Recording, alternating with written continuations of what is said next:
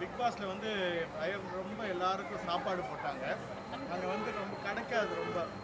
அப்போ கிடைக்காத போது தான் சாப்பாடோட அருமை தெரியும். அதுவும் ரேஷனாக இருக்கும். எல்லாருக்கும் வந்து சரியாக சமைச்சு கரெக்டாக அந்த போர்ஷன்ஸ் கொடுக்கணும். தான் சாப்பிட மாட்டாங்க. நாங்கள் நிறைய தான் பார்த்துருக்குறோம். சூப்பராக சமைப்பாங்க. ஆனால் அவங்க சாப்பிடாம மற்றவங்க எல்லாம் சாப்பிட்டாங்களான்னு பார்த்தாங்க. அதே மாதிரி தான் நீங்கள் பிக் பாஸ் இருபது பேர் பார்த்துருக்காங்க.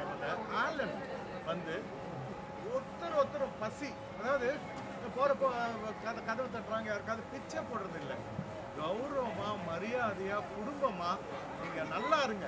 ஒரு முப்பத்தஞ்சு ரூபாய் பெருசாலாம் அவர் யார்ட்டையும் எதுவும் கேட்கல. ஒரு ஒரு லட்சம் தாங்க ரெண்டு லட்சம் அப்படிலாம் இல்லை. ஒரு முப்பத்தஞ்சு ரூபாய் கொடுத்தா ஒரு மாசம் முழுக்க ஒருத்தருக்கு சாப்பாடு போட முடியும். எப்படி? அவரை போய் கேளுங்க. பண்றாரு. நீங்க பெருசா தர வேண்டாம். கொடுத்தா கௌரவமா அவங்களுக்கு அந்த மளிகை பொருட்களை வாங்கி அவங்க வாழ்க்கையும் பெற்றோர் பசங்களால கைவிடப்பட்டாங்களா இல்ல இந்த சமுதாயம் கைவிட்டுச்சா என்னன்னு தெரியாது. ஆனா யாரை நீங்க கைவிட்டாலும் நான் கை கொடுத்து தூக்கி நிப்பேன்னு சொல்ற இந்த ஹெல்ப் ஆனாங்க இன்னும் பெருசா வரணும். அவருக்கு வந்து ஐயோ போதும் சாப்பிட்டா சாப்பாடு சாப்பிட்டோம்னா இது போதும் போதும் நமக்கு தோணும் இல்லையா அந்த மாதிரி எவ்வளவு பணம் கொடுத்தாலும் இல்லையா போதுயா? அப்படின்னு சொல்லக்கூடிய ஆள். அவர். போதும் போதும்னு சொல்ற அளவுக்கு எல்லாரும் முப்பத்தஞ்சு ரூபாய் தயவு செய்து அமுச்சு வைங்க. உண்மையான ஒரு விஷயம் ஆஹ், பசி அப்படின்ற ஒரு விஷயம் இருக்கும்பொழுது வேற எதுவுமே ஓடாதுங்க. பசியிலையும் ஓடுற பல உள்ளங்கள் ஏதோ ஒரு இடத்துல சோர்ந்து போகிறதுக்கு காரணமே ஐயோ வயிற்றுல சாப்பாடு இல்லையே.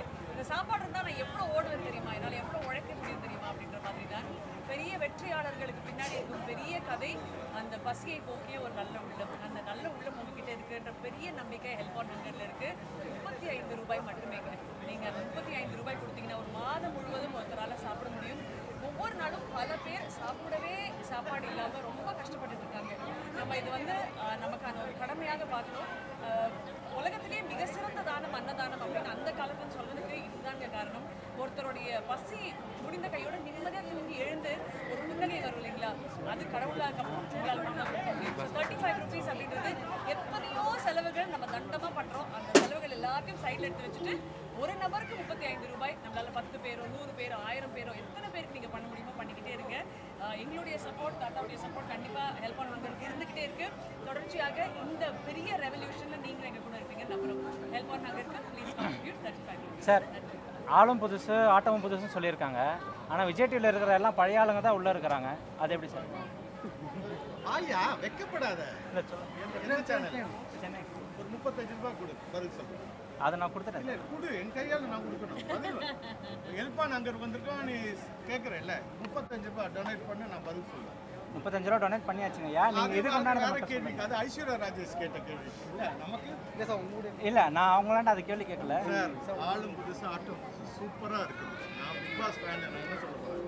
ஓகே சூப்பரா இருக்கு ஃபர்ஸ்ட் டேவே சச்சினாவை எலிமினேட் பண்ணிட்டாங்க. இப்போ மறுபடியும் கம்பேக் ரீஎன்ட்ரி கொடுத்துருக்காங்க பசியை எலிமினேட் பண்ற ஆலனுக்கு வந்திருக்கிறோம். ஓகே ஆ? வாழ்க்கையில் வந்து ரொம்ப முக்கியமான ஒரு விஷயம் அது. எவ்வளோ பேரால் முடிய அதாவது கை கால் நல்லா இருந்தால் முடிஞ்சு அவங்க போய் வேலையை பார்த்துருவாங்க ஆனால் கௌரவமாக வாழ்ந்துட்டு ஏதோ வியாதியாலேயோ இல்லை பசங்க வெளில அமைச்சதுனாலையோ அது போய் ஒருத்தட்டுக்கு போய் நின்று யாசகமாக கையேந்த கூச்சப்பட்டுக்கிட்டு இருக்கிற அவங்களுக்கு வந்து இவர் எலிமினேட் பண்ணிட்டு இருக்காரு பசியை. பசியோட எத்தனை பேர் இருக்கிறாங்க? இப்போ பிக் பாஸ் அத்தனை கோடி பேர் கொடுத்து அவ்வளோ பணம் பண்ணுறதை விட இந்த மாதிரியான கொடுத்துட்டு ஹெல்ப் பண்ணிட்டு போயிடலாமே. இப்போ நீங்க ஒரு முப்பத்தஞ்சு ரூபாய் தானே நான் அப்புறம் தரேன்றீங்க. ஏன்னா முப்பத்தஞ்சு ரூபாய் பெரிய விஷயமே இல்லை. சார் தரேன் சார் அப்படின்னு எடுத்து கொடுத்துருந்தீங்கன்னா ஓகே பார்க்குறவங்களுக்கும் பார். ஒரு பெரிய லெவல் இல்லையா முப்பத்தஞ்சு ரூபாய்? ஒரு ரெண்டு டீ எவ்வளோ டீப்பா டீ எட்டு ரூபாயா பன்னெண்டு பத்து ரூபாயா அந்த மாதிரி. ஸோ அந்த மாதிரி விஷயம் தான் ஸோ எல்லாரும் கொடுங்க அவர் ஏற்கனவே கொடுத்துருக்காரு. அதுக்கு ரொம்ப தேங்க்ஸ் சொல்லிக்கிறேன். இந்த மாதிரி மைண்ட் இருந்தாலே போதும். Okay thank you all the best thank you நம்ம சாப்பாடு போடுற ஒரு ஒரு ஆளுமே புதுசு.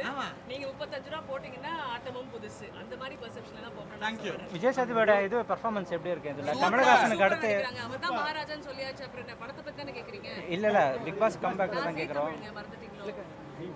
நன்றி வணக்கம். போயிருக்கேன் போயிட்டு வந்து நாலு சீசன் ஆயிடுச்சு இப்போதைக்கு பேலன் இருந்தாங்க பிக் பாஸ் ஹெல்ப் பண்ணுவாங்க தான் பிக் பாஸ் நிறைய ஹெல்ப் பண்ணுங்க நிறைய சப்போர்ட் பண்ணுங்க. நல்ல விஷயம் நிறைய பேசுவோம். தேங்க்யூ